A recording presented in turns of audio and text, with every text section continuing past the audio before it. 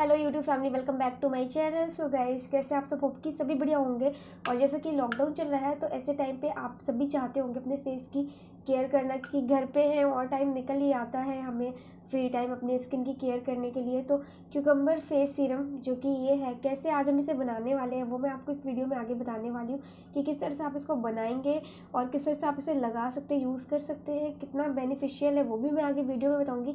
तो आपको video skip नहीं करनी है, आपको स्टेप बाई स्टेप सारा देखना है, किस तरह से इसको हम बनाने वाले हैं और फिर इसको यूज़ कैसे करना है, वो मैं बनाने के बाद में वीडियो में आगे बताने वाली हूँ। तो चलिए देख लेते हैं कैसे बनाते हैं, उसके बाद में आगे का प्रोसेस भी जान लेंगे।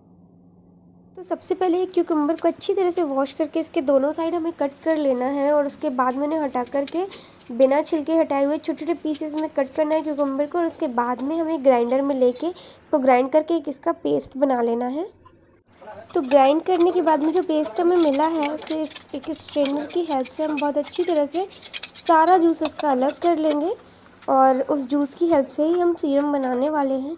तो इस तरह से आप सारा जूस अलग कर लीजिए, उसके बाद में हम इसमें और इंग्रेडिएंट भी ऐड करने वाले हैं। तो इतनी क्वांटिटी में हमें क्यूकम्बर जूस मिल गया है। अब इसे कंटेनर में पोर कर लूँगी मैं और हमारे नेक्स्ट इंग्रेडिएंट की बात करें तो वो है एलोवेरा जेल तो मैं इसमें एलोवेरा जेल ऐड करने वाली हूँ। ये रहा एलोवेरा जेल। दो से तीन चम्मच एलोवेरा जेल आपको इसका ऐड करना है। जब तक आपका सीरम टेक्सचर कंप्लीट नहीं हो जाता तो ये दो चम्मच मैंने ऐड करे हैं और एक चम्मच मैं और ऐड करने वाली हूँ, क्योंकि ये अभी थिक नहीं हुआ है ठीक तरह से।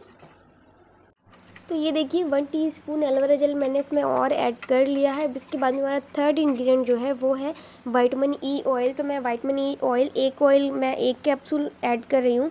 अगर आपकी स्किन ड्राई है तो आप दो ऐड कर सकते हैं। अगर आपकी स्किन ऑयली है तो आप इसे स्किप करें, आप इसे ना ऐड करें। तो गैस अच्छी तरह से इसको मिक्स कर लेना है। उसके बाद में आप देखिए, मैं हाथ में आपके अप्लाई करके दिखा रही हूँ कि स्किन को कितना सॉफ्ट दिखा रहा है, कितना सॉफ्ट बना रहा है स्किन को। आप इसे फ्रिज में वन मंथ के लिए स्टोर करके रख सकते हैं। उसके बाद आप इसे यूज़ ना करें वन मंथ के बाद तो गाइस कितना ईजी और कितना नेचुरल है ये फेस सीरम, आप समझ गए होंगे वीडियो देखने के बाद में।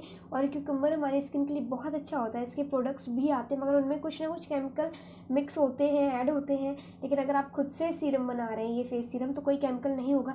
सो गाइस ये फेस सीरम कैसे यूज़ करना है, वो मैं आपको बता देती हूँ। जैसा कि आपने देखा, पूरा नेचुरल है, कोई केमिकल नहीं है। मार्केट से जो आप क्यूकम्बर सीरम लाते हैं, उनमें कुछ ना कुछ केमिकल्स ऐड होते हैं। पर जो आप ये खुद बनाएँगे, ये बहुत ज़्यादा इफ़ेक्टिव होगा आपकी स्किन को बहुत ही डीपली क्लीन करेगा। आपके अगर पोर्स लार्ज है तो उन्हें श्रिंक करने में, टाइट करने में हेल्प करेगा, स्किन को ग्लोइंग बनाने में, यंगर दिखाने में।